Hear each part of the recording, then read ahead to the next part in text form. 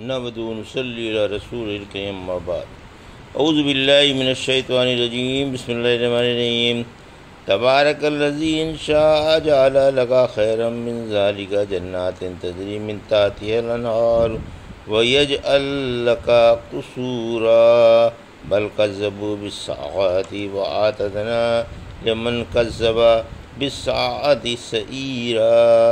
इज़ा रअतहुम मिन मकान बईदिन समिउ लहा तगय्युज़ं व ज़फ़ीरा वैज़ा उल्क़ू मिनहा मकानन ज़य्यक़म मुक़र्रनीन दऔ हुनालिका सुबूरा ला तदुल यौम सुबूरं वाहिदन वदऊ सुबूरन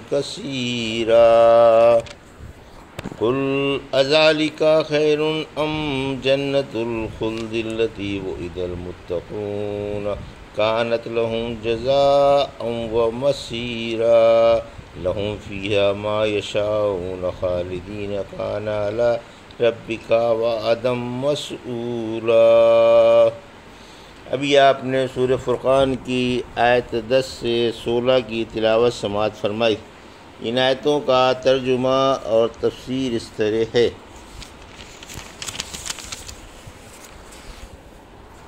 तबारकल रज़ी इंशा अजाला लका खैरम मिन ज़ालिका जन्नातिन तजरी मिन तातियल अनहार वयज अल्लका कसूरा आयदस बल कज़बू बिसाती व आतदना लिमन कज़बा बिसाती सईरा आयत ग्यारह। इज़ार अतहम मिन मकान बईदिन समेऊ लहा तगयुज़ों व ज़फ़ीरा। आयत बारह। वैज़ा उल्क़ू मिनहा मकानन ज़य्यकम मुकर्रनीन दओ हुना लिका शबूरा। आयत तेरा ला तदूल यौम शबूरों वाहिदों वद ऊ शबूरन कसीरा। आयत चौदह। तर्जुमा। अल्लाह की ज़ात बड़ी बरकत वाली है। अगर वो चाहे तो उनकी बताई हुई चीज़ों से आपको कहीं बेहतर चीज़ें दे दे। यानी ऐसे बाग जिनमें नहरें जारी हों और आपके लिए आलीशान महल भी बना दे। बल्कि ये क़यामत को झूठ समझते हैं और हमने ऐसे लोगों के लिए भड़कती हुई आग तैयार कर ली है। जब जहन्नम उन्हें दूर से देखेगी तो ये उसका झुंझुलाना और चिल्लाना सुनेंगे। और जब ये जहन्नम के किसी तंग व तारीख गोशे में जकड़े हुए फेंक दिए जाएँगे तो वहाँ हलाकत ही हलाकत पुकारेंगे। आज एक हलाकत को न पुकारो, बल्कि बहुत सी हलाकतों को पुकारो। ये था तर्जुमा। सुर नूर की आयत दस से तेरह का। आयत दस से चौदह का। अब तफसीर। हक ताला अपने नबी को ख़बर दे रहा है कि अगर वो चाहे तो अपने नबी को उनके चाहे हुए बाग से भी बेहतर बाग दे, दुनिया में अता फरमा दे और आपका आलिशान महल भी बना दे। यहाँ दुनियावी बाग व महल मुराद हैं। अरबों के मुहावरे में पत्थरों से बने हुए हर मकान को कसर कहा जाता है। ख्वाह वो छोटा हो या बड़ा? आयत ग्यारह। क़यामत का इनकार। यानी ये झुटलाने और सरकशी की वजह से ऐसा कह रहे हैं, ये बात नहीं कि अगर ये बातें ज़ाहिर हो जाएँ तो मुसलमान हो जाएँगे, बल्कि क़यामत को झुटला रहे हैं और यही अकीदा उन्हें इन फजूल बातों पर उभार रहा है। फिर फरमाया कि हमने क़यामत के झुटलाने वालों के लिए भड़कती हुई आग तैयार कर रखी है, जो इस कदर अलमनाक और गर्म है जो बयान से बाहर है। आयत बारह यानी जब मैदान मैशन में जहन्नम उन्हें दूर से देखेगी, उसी के मानंद फरमाया, सूर्य मुल्क की आयत सात आठ में जब उसमें डाले जाएँगे तो उसकी गरज सुनेंगे और वो जोश मार रही होगी। करीब है कि मारे गुस्से के फट जाए, काफिरों पर पिल पड़े और उन्हें जलाकर भस्म कर डाले।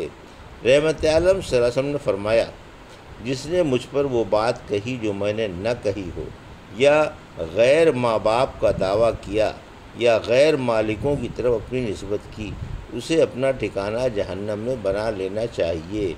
एक रवायत में है कि उसका जहन्नम की आँखों में ठिकाना होगा। पूछा गया, क्या जहन्नम की भी आँखें हैं?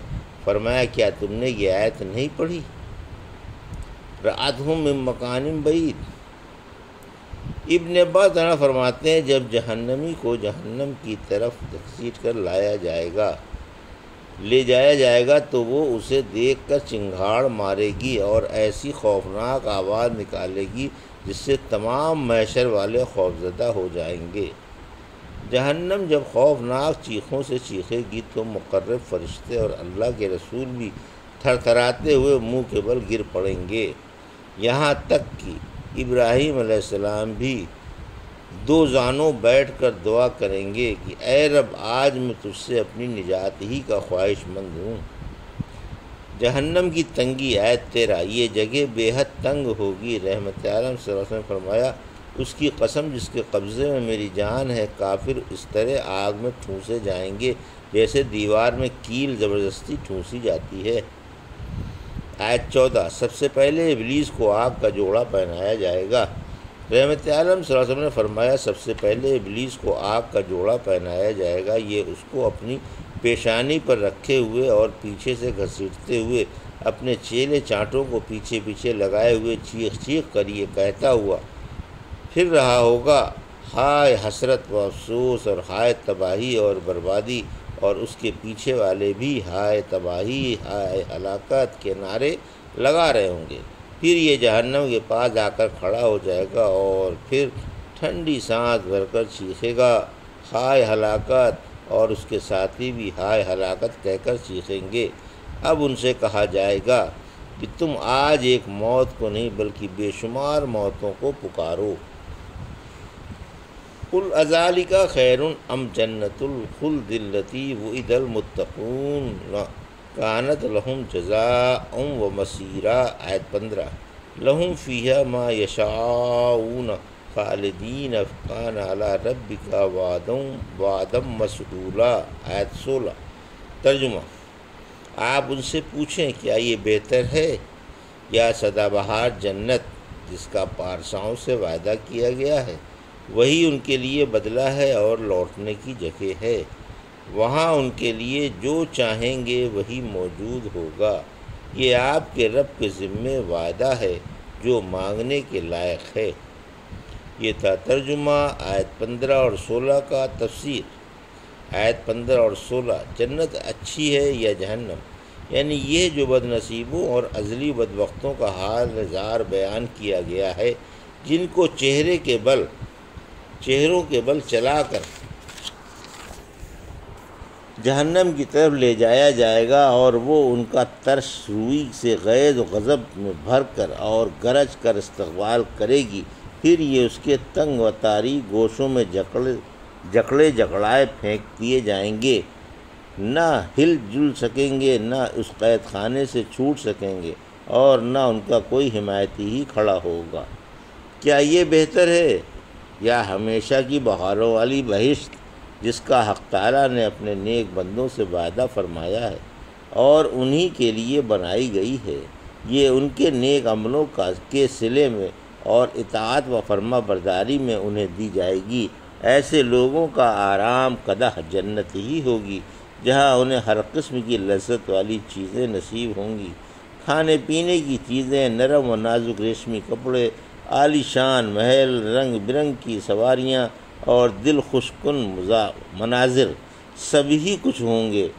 वो वो नेमतें होंगी जो ना आँखों ने देखी, न कानों ने सुनी और न किसी के दिल में उनका खटका गुजर सकता है। ये उन नेमतों में हमेशा, हमेश मौज उड़ाते रहेंगे। ना उन्हें जवाल होगा, ना ये ख़त्म होंगे, न उनमें कमी आएगी न उन सदाबहार महलों से उगताएँगे मन भाते खाने, मुफरह, मशरूब, दिलपसंद लिबास ऊँचे ऊँचे शाहाना महल तरह तरह की नेमतें, मुबारकबादियों और सलामतियों की सदाएँ, फरिश्तों की दिलजुइयाँ, हूरों की मोहब्बत मोहब्बत भरी निगाहें, ग़ुलामों की सरगर्म खिदमतें और अल्लाह का दीदार पर बहार अल्लाह का दीदार पर बहार सुबहान अल्लाह एक जन्नती को हक ताला किस किस नेमत से नवाजेगा? अल्लाह, हमें भी अपने सच्चे वादों का हकदार बना और तोहीद की सच्ची तड़प अता फरमा, आमीन। जब रब ने अपने नेक बंदों से जन्नत का वादा फरमा लिया है तो वो पूरा होकर रहेगा।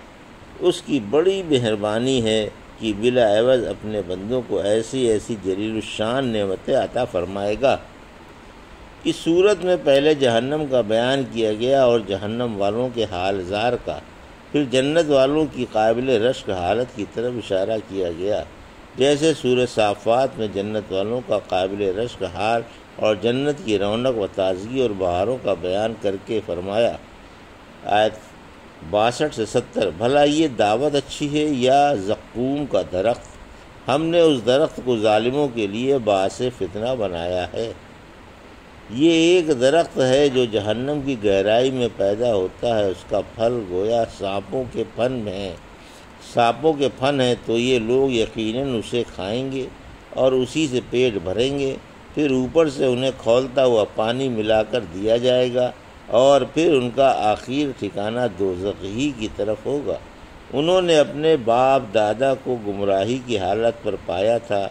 फिर ये भी उन्हीं के कदम ब कदम तेज़ी से दौड़ने लगे थे। ये था सूरज फ़ुकान की आयत 10 से 16 का तर्जुमा और तफसीर जो भी आपने समात फरमाई। बारकल्ला वलकुम फ़िलक़ीम वनफ़ाना याकुम बिराज़ ज़िक्र